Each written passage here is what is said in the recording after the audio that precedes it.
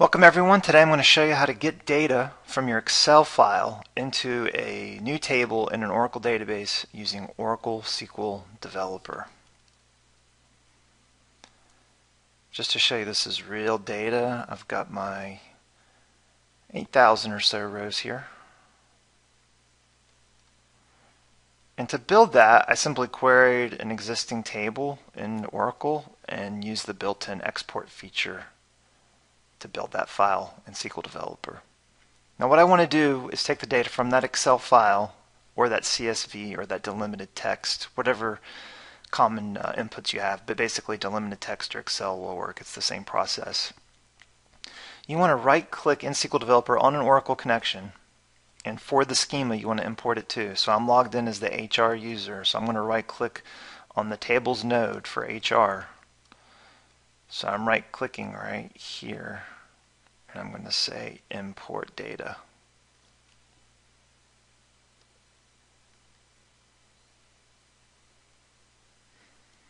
So SQL Developer will automatically default to the last CSV or Excel you built um, using the export wizard. I mean, you can browse to whatever you want. And it'll give you a preview window here. Now what the preview window does, and this is very important, it's how many rows do we want to read in this file to be able to give you accurate predictions um, for how the import is going to go. So I'm just going to go back to this file. All right, so it's set to 1,000. Let's set this to, I'm sorry, to 100. Let's set this to 500. Now, throughout this wizard, I'm going to want to be able to browse the data to answer these questions. And the nice thing is I don't have to keep doing this. That's, that's annoying. So what we have in the wizard is the preview window of data available to you inside the wizard itself. So I need to give the table a new name. Let's call this um, YouTube Excel import. Now I can say, let's just import 10 rows or 100 rows or 5 rows. I'm going to say import all the rows, so I'm not going to check this box. And we have a couple of different uh, ways to get the data into the database. So for CSV files, you have the most flexibility.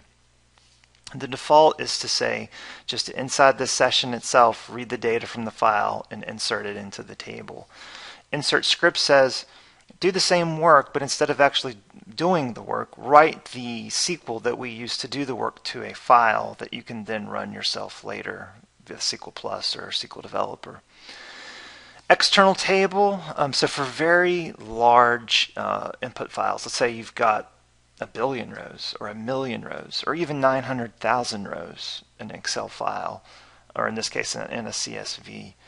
If you can stage those files on the database server itself, you can create what's called an external table, which is able to uh, read the data um, in the database from on the file system directly. Uh, that's kind of an advanced concept.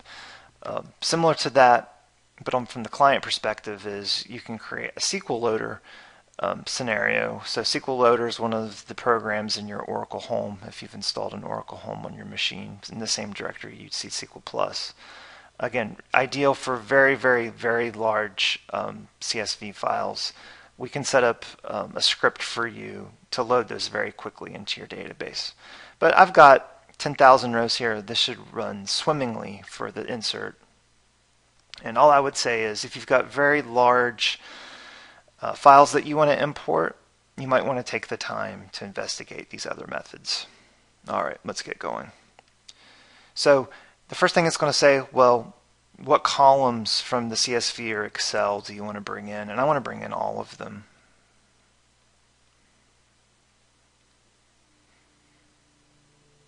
And now we need to uh, define the columns in the Oracle table that we're going to create to house the data from this file. Now we do try to protect you somewhat when you're choosing column names. So if I used a reserved word like table and saying, look, you've got a problem with this definition. And down here it's saying that column name isn't valid. So we do have a couple of client-side checks to kind of protect you. And it's not uncommon to have like spaces um, in a column name in an Excel file. Like if I had um, this name, that's not valid. But this underscore name is. And I'm just going to call this owner. I'm just going to actually leave the default names um, from the input stream. What I need to pay, what I need to pay more attention to uh, is the data type and the definitions for the columns themselves, not just the names. So I had that preview uh, window set to 500, I think. Yep. So reading 500 uh, values out of um, the 8000 in this file.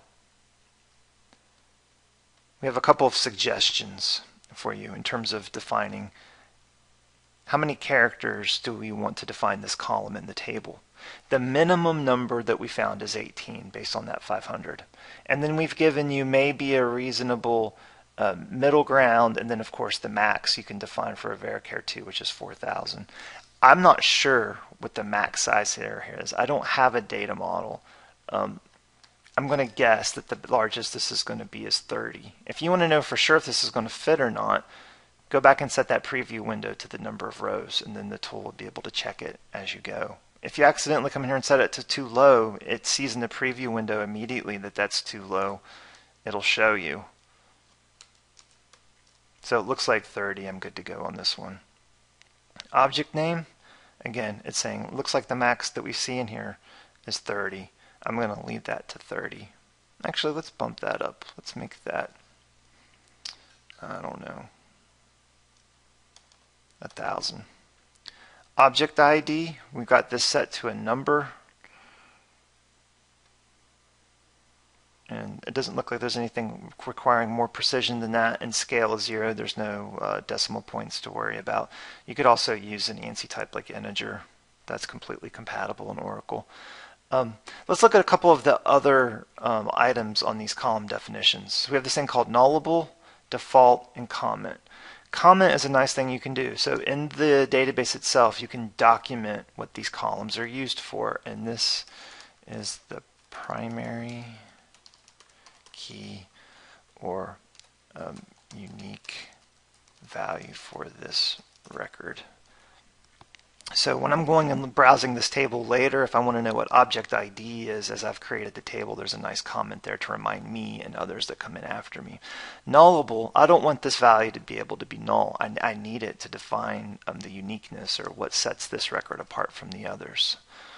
And default, this is just saying, look, if someone tries to insert something without a value, we can try a default value. And that doesn't make sense for object ID. Owner, I don't want it to be nullable. Object name, I don't want it to be nullable. And just to make this video fast, I'm not going to provide uh, comments for these. So again, for object type, it's saying the minimum could be 12. We suggest maybe 26, or you could go to the max. Let's try to use the suggestion. All right, so these are the fun ones. So these are strings um, at the moment, and a CSV or an Excel file, it's just stored as a string. But in the database, I want this to be stored as a date, or maybe a timestamp. Um, and using the proper data type, I get much better performance and much better um, access to SQL features. I can use all of the date functions um, against the data when querying it. I don't have to convert it to a date first. So I want to store this as a date in the database. So I'm going to change this to date. Now in Oracle, a date is both the time and the day. Now, we've tried to guess what the date format is. So we have to reconcile this string to an actual date in the database. And we have a few common formats here. Now if I choose one that's not compatible, these light up with the warning messages. They're like, look, saying um, two uh, values for the date followed by a dash and then a three um, character um, abbreviation for the month and then two um, digits for the year these values don't reconcile to that, so we're not going to be able to successfully insert this as a date. The nice thing is this the developer has gone through these values and it's trying to guess what a valid value might be. And in this case, the, gate, the guess was correct. So DD mon year 24 hour um, time format followed by minutes followed by seconds. Um, if we can't guess this correct, you're going to have to input this value yourself, which you can totally do. Um, I could say dd mon yyyyy 24hh minute second. Now I've still got a problem because I'm saying the separators here are decimals instead of dashes. So I've got to basically experiment with this until I get it right. There it is again. So uh, I just need to do this again for the last column. So I'm going to change this from varchar to date. I can't stress enough how important it is to store dates as dates.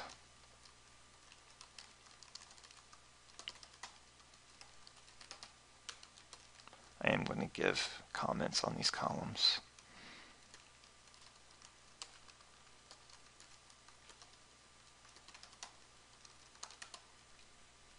All right, so you just might want to review again your settings here. Make sure you get the column names right, the data types right. You can change names and data types after the fact. Depending on the change, it can be quite hard. It's best just to get it right the first time. And of course, if we're too narrow on any of these definitions, there will be rows that don't go into the um, to the table. The insert will not fit, will not complete successfully. All right, so here I'm on my summary page. It's just reminding us what we're doing. We're creating a new table. These are the field names. Here's the method in which we're doing the insert. And we're going to click finish.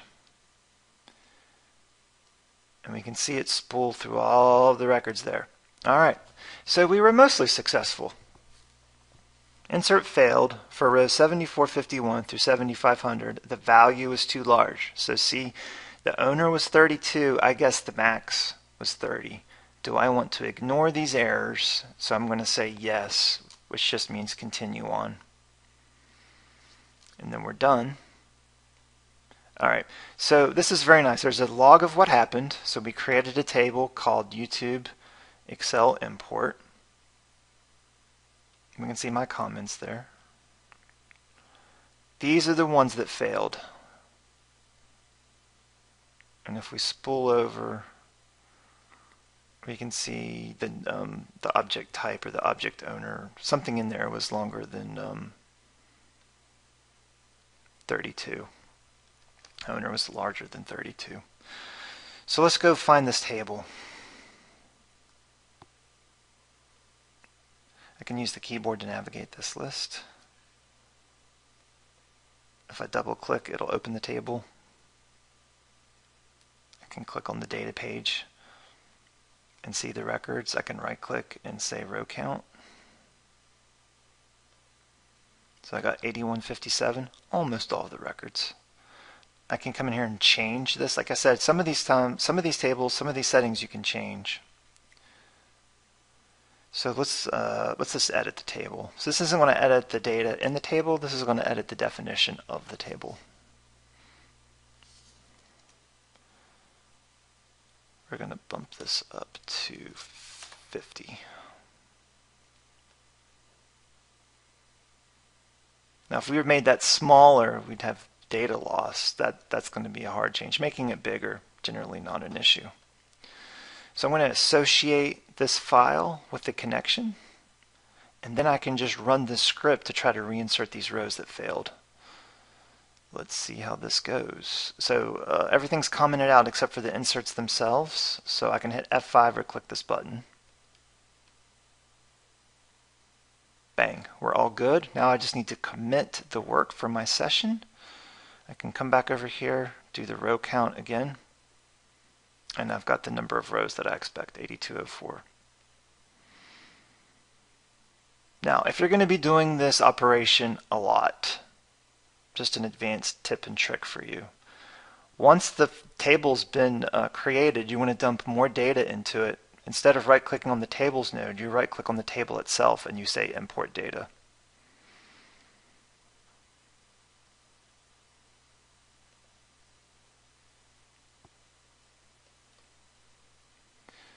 See this button here that says restore state? We can go through this scenario.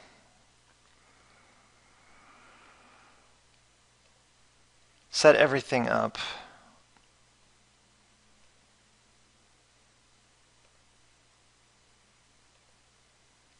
And right here I can click Save State.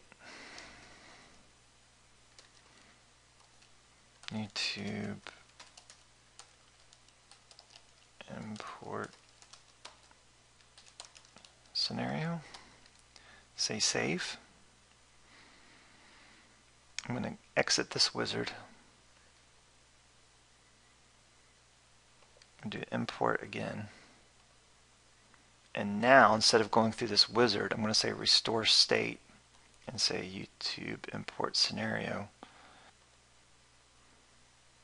And now everything's been finished for me and I can go directly to the end and everything's good to go and I can just run it. So if you find yourself going through these wizards over and over again and making little tweaks, use the save and load state buttons. Thanks for your time, everyone. Uh, enjoy your Oracle experience in Oracle SQL Developer. Uh, subscribe to this channel so you don't miss new videos as they're posted. And you can follow me online as that Jeff Smith. And if you're not the type that learns by watching videos, if you're more of a reader, I have a blog, thatjeffsmith.com. The number one post, six years running, step by step how to import from Excel to an Oracle table. So everything I just showed you in long form, complete with pictures. Thanks everyone. Have a good one.